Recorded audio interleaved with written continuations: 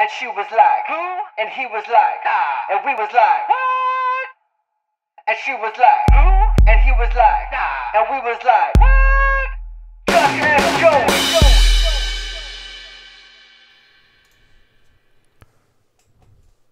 Hi, hello, and welcome to the Just Ask Joey podcast. This is your host, Joey. Uh, This is the only place on the internet where you will find a former idiot answering your questions to help you either avoid idiocy or get past your idiocy. We're doing something a little different here today. While I'm recording this, I'm also recording onto uh, Periscope at the same time. So we do this three times a week. And if you guys get the hang of it, maybe we can, you know, you can see it on Periscope before you're seeing it on uh, YouTube or downloading it on iTunes. So today's question for episode 10, um, kind of getting called out for uh, maybe going a little soft on the question I answered the very beginning for episode one, which was what is uh, what are five lessons that every guy should learn. This was maybe a little more uh, a little more hardcore, a little more straightforward. It was a uh, a father asking me, okay, my son is is going to turn 18 this year, and you know we kind of all those of us that are over, you know, that are adults and stuff, and I'm in my late 30s. Um, you kind of get uh, what do you do when you when you have your kid and your kid grows up? Like how do you how do you give them the lessons that you learned as you grow up? And and you know some people have the have the you know they want to go oh well let's just uh, let them you know be who they are and blah blah blah and everything but i think as parents like if you don't if you don't learn from your mistakes and you don't take your personality and you don't take your kid's personality and you don't allow them the opportunity to to be taught from your shortcomings as a parent that's kind of your job as a parent is to allow is, is to help your kids not not get caught up in their in their bullshit. And you, as the parent you should know them better than anybody. So the, the the parent asks you know my kid turns 18 this year my son turns 18 this year so what are five like really harsh lessons that you maybe you wouldn't hear um, from you know looking up on like a magazine or like a teen website or whatever like something that's like real harsh lessons that every every uh, every man should know but that you he wants his son to know early enough that he um, doesn't get caught up in kind of the bullshit that you know let's say I got caught up in or, or he got up caught up in. So five harsh lessons that every adult should know with the understanding that this is this is being told to a 17 almost 18 year old who's about to become an adult about to become a man and and you know what are what are things that that, that I've learned and what are things that that his dad's learned that can help him not be idiots like we were I guess so number 5 um the relationships that you are in are the ones that you have created whatever they are your relationship at work your relationship with your girlfriend, your relationship with your boyfriend, your relationship with your wife, husband, parents, whatever that relationship is, it's the it's a relationship that you've created. It's the relationship that you have allowed. Like you don't get treated a way that you don't allow yourself to be treated. I hope that makes sense. When you when you get into a new relationship, let's say you meet a new and this is for a guy, this is why I'm saying this. So if you get in a relationship and you and you meet that new girl well there you kind of establish what the relationship is going to be like as you are developing that relationship so however you want to be treated that's kind of how you have to set things up and granted there's an ebb and flow there's a give and take with relationships but but you want to allow that person to to uh, adapt to kind of your needs you don't want to set it up where you're being fake and you say hey let's let's uh you know, I'm going to be totally different over here because I think she likes this or I think he likes this. And then it turns out that that's not what you like. And then you haven't really given who, you know, given the perception of who you are. You're, you don't want to be walked over. You don't want to be taken advantage of. And those are all things that if you find yourselves in those situations, chances are that you have found yourselves in those situations kind of over and over again. And uh, that's you. So whatever, if you're in a shit relationship, that's because you allowed yourself to be in a shit relationship and you can change it now you can change the person, but you need to make sure that you change you also to give yourself an opportunity to be in the relationship that you want to be in. So, number five, every relationship you're in, whatever it is, you've allowed it to be that way. So, you need to look at yourself if you want it to change. Uh, number four, and this is not necessarily for an 18 year old unless you're, you know, some 18 year olds have kids. Um, your kids only grow up once. So when you have kids, um, they see everything that you do, whether they acknowledge it or not. And they pay attention to everything you do, whether they acknowledge it or not. And that's guiding them and teaching them how to be an adult. And if you don't give them the proper if you're not a if you're not a, a person to look up to, then they're not going to have the person that they should be looking up to to look up to. So think about that. Like the one person or the two couple people in their lives where they that they that should be the ideal of of who they are and how to act, how to treat people, how to work, how to study, how to learn, how to be a good person, you know, what makes a bad person. Like those are all things that they should learn from you as their parent. And if you're not giving them that example and showing them, not just telling them, because telling them doesn't mean anything. They watch more than they listen. You know, I mean, remember when you were a kid, you, you know, parents, oh, do this, do that, oh, whatever, whatever. But really, but how you're really learning is you're watching and you're taking it in, and whether you even whether you know it or whether you acknowledge it, you're taking it in. So you have to um, think about that when you're raising your kids. That that you are their world, and if you mess up you have got a lot of undoing that you have to do later on.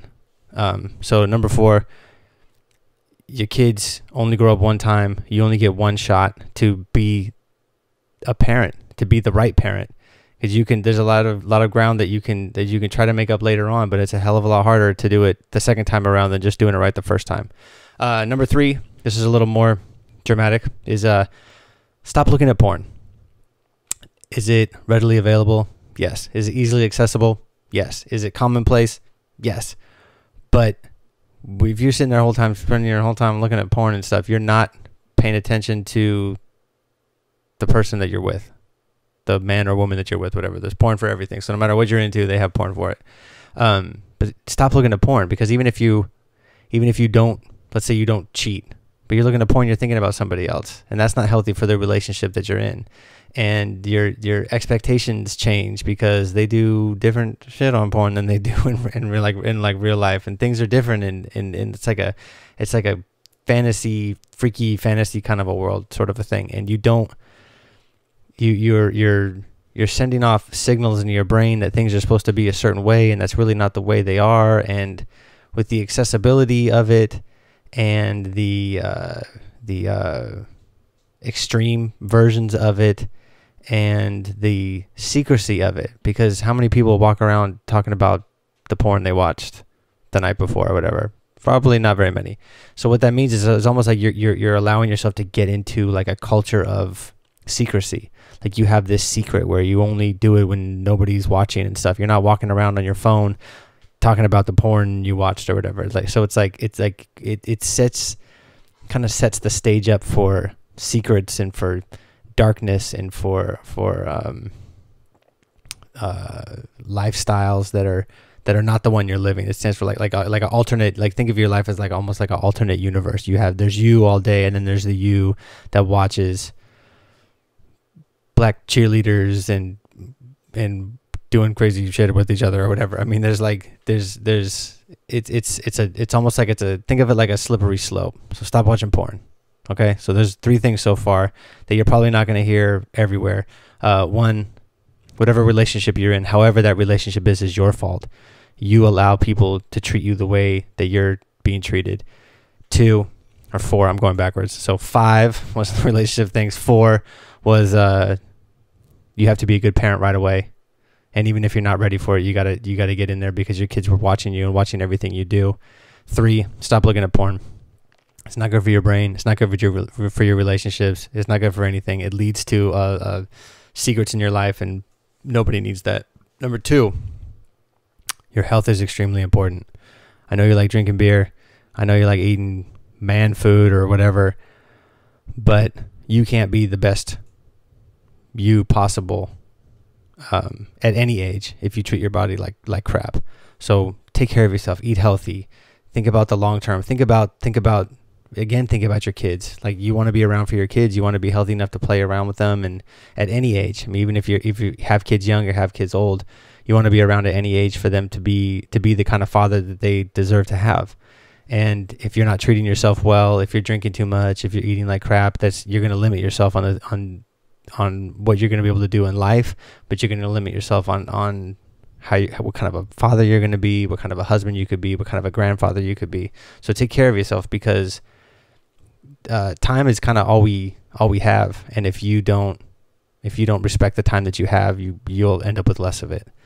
Um, and number one, um, think of all the the different places that you're going to find yourself in, and and what you need to be as a man is you want to be the type of person that you would want to work for and the type of person that you would want to live with and the type of person that you would want to live for the type of person that you would want to learn from the type of person that you would look up to. You want to be the example and the type of person that you want your daughter to end up with.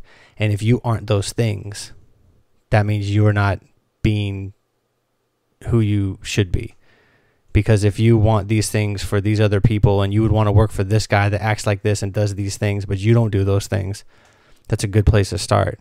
If you want to, you know, you want to be the example for for uh for your daughter for who to look for like in a mate when they get older and you give them a crappy you know kind of litmus test for who to look for and what's what what being a man is like um that's where you need to change so really look at who you are would you want to work for you? Would you want to work with you? Would you want to live with you? Would you, I mean, all these things, like take your characteristics. And these are all hard lessons.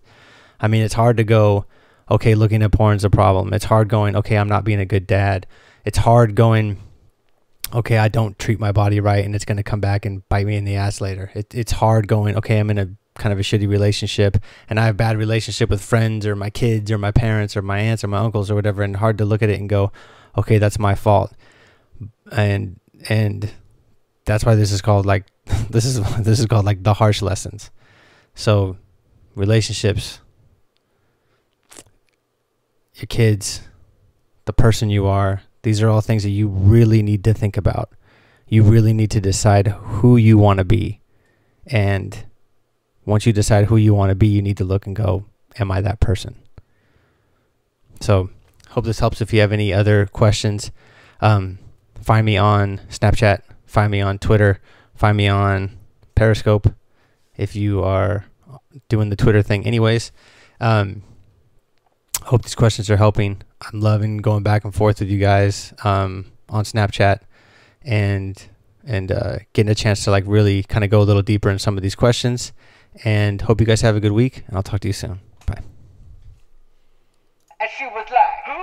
And he was like, Nah. And we was like, What? Just.